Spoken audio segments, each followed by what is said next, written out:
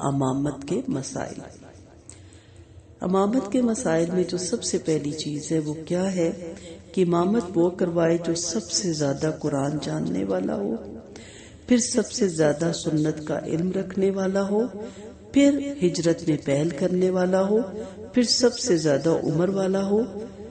ये सब अमामत के ज़्यादा हकदार हैं। इसमें या या भी लगा सकते हैं और सारी चीज़ें एक में हो तो बहुत ही बेहतर। ये तो चीज़ है। मुकर्रा इमाम की इजाज़त के बगैर किसी मेहमान को अमामत नहीं करवानी चाहिए।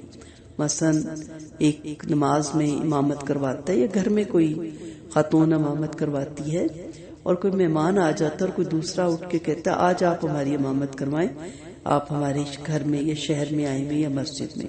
तो इसके लिए इमाम की इजाज़त ज़रूरी है। इमाम से ये रिक्वेस्ट की जाए कि आप इस मेहमान को रिक्वेस्ट करें कि वो आज हमारी इमामत करवाए। जब तक इमाम इजाज़त न दे, आप अपने मेहमान को, चाहे वो कितना ही साहिब इल्म है, उसको नहीं कह सकते। हज़रत अबू सईद मसूद रज़ी अनहो कहते हैं रसूल अल्लाह सल्लल्लाहु अलैहि वसल्लम ने फरमाया लोगों की इमामत वो शख्स कराए जो किताब अल्लाह का सबसे बेहतरीन पढ़ने वाला हो। अगर किरात में लोग बराबर हों तो सुन्नत का ज़्यादा जानने वाला इमामत करवाए। अगर उसमें भी सब बराबर हों तो फिर जिसने पहले हिजरत की हो, अगर लोग इसमें भी बराबर हों तो फिर उम्र में सबसे बड़ा इमामत करवाए। इमामत के लिए मुकर्रा आदमी की जगह कोई दूसरा आदमी बिला इजाज़त इमामत ना करवाए। ना ही कोई आदमी किसी के घर में बिला इजाज़त, उसकी मस्तनत पर बैठे इसे अबू और मुस्लिम ने रवायत किया। इसी तरह आप देखें बाज घरों में बाज बुज़ुर्गों या बड़ों के बैठने की कोई मखसूस जगह होती है या नमाज़ पढ़ने की या कुरान पढ़ने की तो वो पसंद नहीं करते तो उनकी इजाज़त के बगैर उनकी मसनत पे ना बैठा जाए। हाँ अगर वो इजाज़त दें और वो कहे कि आप यहाँ बैठे, क्योंकि बाज लोगों ने अपने लिए मखसूस जगह रखी होती है और वैसे बिठाने के लिए ड्राइंग रूम या सिटिंग रूम होता है। तो जब आप जाए तो ये नहीं कि उनकी मसनदन जो उन्होंने मखसूस की हुई है, उस पर बगैर इजाज़त के बैठ जाए, इससे भी मना किया गया। नबीना आदमी बिला कराहत इमामत करवा सकता है, यानी अगर कोई नबीना है, लेकिन वो तमाम इस पे पूरा उतरता है तो नबीना होना उसके रुकावट नहीं बनता इमामत करवाने में। हज़रत अनस रज़ी अनहु से रवायत है कि नबी करीम सल्लल्लाहु अलैहि वसल्लम ने हज़रत इब्ने उम्मे मखतूम रज़ी अनहु को मदीना में अपना नायब मुकर फरमाया, वो लोगों को नमाज़ पढ़ाया करते थे, हालाँकि वो नबीना थे। इमाम की पूरी पूरी इक्तदा करना वाजिब है। हम यहाँ इमाम बना तो लेते हैं, लेकिन हम उनकी इक्तदा में उस तरह पूरी पूरी इक्तदा नहीं करते जो करनी चाहिए। हज़रत अनस रज़ी से रवायत है कि नबी करीम सल्लल्लाहु अलैहि वसल्लम ने फरमाया, इमाम इसीलिए मुकर किया गया है कि उसकी मुकम्मल पैरवी की जाए। लिहाजा जब तक वो रुको में ना जाए, तुम भी रुको में ना जाओ, और जब तक वो ना उठे, तुम भी ना उठो, इसे बुखारी ने रवायत किया। एक पहले के लेक्चर में भी मैंने आपसे ये बात कही थी कि जब वो अल्लाह अकबर कह के रुकू में चला जाए, फिर पीछे से पूरी जमात रुकू में जाए। ना कि वो अल्लाह अकबर के और आप सारे रुकू में हो। इसी तरह वो रुकू से अल्लाह अकबर कह के जब सीधा खड़ा हो जाए तो फिर पूरी जमात सीधी खड़ी नहीं एक एक लम्हे के गैप से या एक एक सेकंड के गैप से ये अमल करना है। ना उसके साथ करना है इमाम के, ना उससे पहले करना है। और जब तक वो दोबारा सजदे में ना जाए, जब वो अल्लाह अकबर कह के सजदे में जाए तो फिर पीछे से पूरी जमात सजदे में जाए। मुसाफिर मकीम की इमामत करवा सकता है। कोई मुसाफिर किसी इलाके में क्या है और वो इमामत करवाना चाहता है तो जो वहाँ के इमाम है, मुसाफिर को नमाज़ के लिए, इमामत के लिए आगे खड़ा कर सकते हैं। जबकि आप जानते हैं कि जो मुसाफिर है, उसकी नमाज़ कसर होगी, वो भी मसला देख लेते हैं। इमरान बिन हसैन रज़ी अनहो कहते हैं कि आप सल्लल्लाहु अलैहि वसल्लम ने सफ़र में घर वापस आने तक हमेशा नमाज़ कसर अदा फरमाई। फतेह मक्का के मौके पर आप सल्लल्लाहु अलैहि वसल्लम 18 दिन मक्का में ठहरे रहे और मगरिब के सिवा लोगों को दो दो रखते पढ़ाते रहे। खुद सलाम फेर लेने के बाद लोगों से फरमा देते, ए मक्का वालों, उठकर बाकी नमाज़ पूरी कर लो, हम मुसाफिर हैं। यानी आप तो पूरी पढ़ के दो फ़र्ज़, जोहर के या दो फ़र्ज़ असर के और दो या ईशा के आप सलाम फेर देते थे और आपको पता है चार फ़र्ज़ होते हैं तो बाकी दो कहते थे आप खुद पढ़ लें। तो उनके लिए बड़े एजाज की बात थी कि नबी करीम सल्लल्लाहु अलैहि वसल्लम उनके शहर आए हुए थे। तो किसी बड़ा ऐसा अलीम इंसान हो तो आप मस्जिद में से इमामत के लिए किया तो उसकी तो नमाज़ कसर होगी। तो अगर वो इमामत कराते हैं तो वो दो पढ़ के सलाम फेरेगा और बाकी नमाज़ मुक्तदी अपनी खुद अदा करेंगे। अगर सात या आठ साल का बच्चा बाकी लोगों की नस्बत ज़्यादा कुरान जानता हो तो इमामत का वो ज़्यादा हकदार है। वहाँ फिर उम्र नहीं देखी जाएगी। वहाँ हमने सबसे पहले क्या देखा कि कुरान सबसे ज़्यादा कौन जानता है? हमें पता चलता है हज़रत उम्र बिन सलमा जरा जरामी रजियाला अनहो कहते हैं कि हमारी बस्ती से सवार गुजरा करते थे। और हम इनसे कुरान सीखा करते थे। एक दफ़ा मेरा बाप नबी करीम सल्लल्लाहु अलैहि वसल्लम की खिदमत में हाजिर हुआ तो आपने शाद फरमाया, तुम में से जिसे कुरान ज़्यादा आता हो, उसे मामत करवानी चाहिए। चुनाची मेरा बाप वापस आया तो कहने लगा रसूल अल्लाह सल्लल्लाहु अलैहि वसल्लम ने फरमाया, इमामत वो करवाए जिसे कुरान ज़्यादा याद हो। चुनाचे सब लोगों ने देखा, मुझे सबसे ज़्यादा कुरान याद था, इसलिए मैं इनकी इमामत करवाता था। उस वक्त में आठ साल का बच्चा था। इसे नसाई ने रवायत की है। तो अगर कोई ऐसी जगह है, देहात है, कोई ऐसा इलाका है जहाँ बहुत कम है लोग है तो अगर कोई छोटी उम्र का बच्चा भी कुरान पढ़ा है हिफ्स कर रहा है या मदारिस से पढ़ा है तो उसको फिर इजाज़त है कि वो इमामत करवा सकता है। औरत औरतों की इमामत करवा सकती है। आप जानते हैं कि औरत पे ना फ़र्ज़ है, ना वाजिब है, ना उसे मस्जिद में इमामत का इजाज़त है, लेकिन औरत औरतों की इमामत करवा सकती है, उसमें उसको कोई ममानियत नहीं। उसे मसाजिद में या ऐसे मौकों पे क्यों नहीं इजाज़त? क्योंकि औरत के साथ बहुत से प्रॉब्लम ऐसे होते हैं, जिसमें उसका देखने प्रेगनेंसी फिर डिलीवरी फिर नफास, फिर हैस और फिर बच्चों को दूध पिलाना।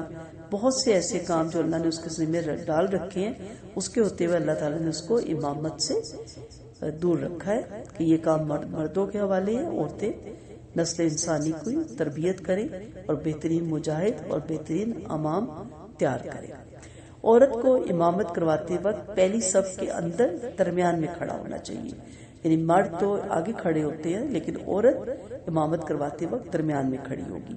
हज़रत आयशा रज़ी अनहा से रवायत है कि वो फ़र्ज़ नमाज़ में औरतों को इमामत करवाती थी और सब के अंदर ही खड़ी होती थी इससे दार कुतनी ने रवायत किया है। हसन हदीस है ये।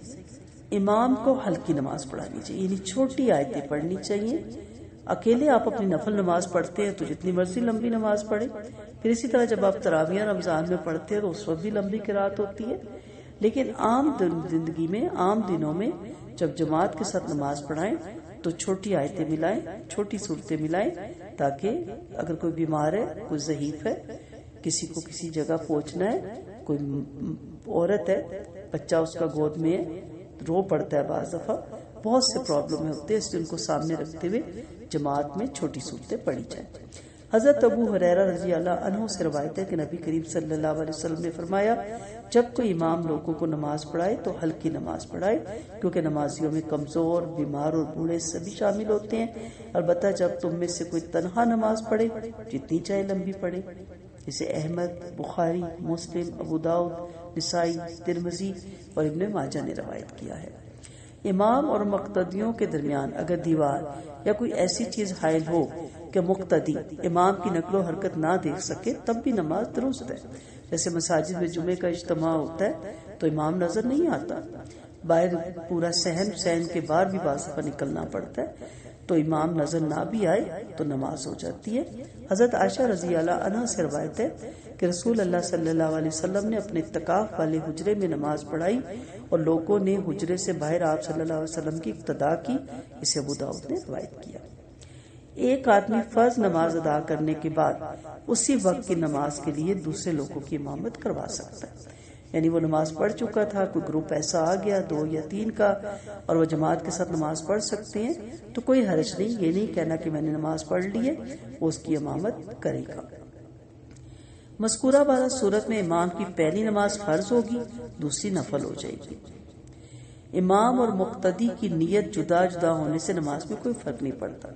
जैसे मुक्तदी भूल गया, और वो समझ रहा है कि मैं असर की नमाज़ में खड़ा हूँ या वो सुनतों की कर रहा है और उसे ये पता ही नहीं कि जमात खड़ी होगी और वो फ़ौरन उसमें शामिल होता है। इमाम की जो नीयत है, वो काउंट की जाएगी। हज़रत जब जाबिर रज़ी अनहो से रवायत है कि हज़रत माज रज़ी अनहो ईशा की नमाज़ नबी करीम सल्लल्लाहु अलैहि वसल्लम के साथ अदा फरमाते, फिर अपनी कौम में जाकर उन्हें वही नमाज़ पढ़ाते इसे बुखारी और मुस्लिम ने रवायत किया। यहाँ पर पढ़ जाते थे और फिर जाके अपनी कौम के लोगों को पढ़ाया करते थे। हज़रत मोहजमन बिन अल अदरह रज़ी अनहो कहते हैं कि नबी करीम सल्लल्लाहु अलैहि वसल्लम के पास मस्जिद में मैं हाजिर हुआ। नमाज़ का वक्त हो गया तो आपने नमाज़ पढ़ाई और मैं बैठा रहा। आपने मुझसे दरिया फरमाया, क्या तुमने नमाज़ नहीं पढ़ी? मैंने अर्ज़ किया, या आपकी खिदमत में हाजिर होने से पहले मैंने घर में नमाज़ पढ़ ली थी। आपने इशाद फरमाया, जब ऐसा मौका पाओ तो जमात के साथ भी नमाज़ पढ़ लो, दूसरी नमाज़ को नफल बना लो। यानी अजर इसका ज़्यादा हो जाता है।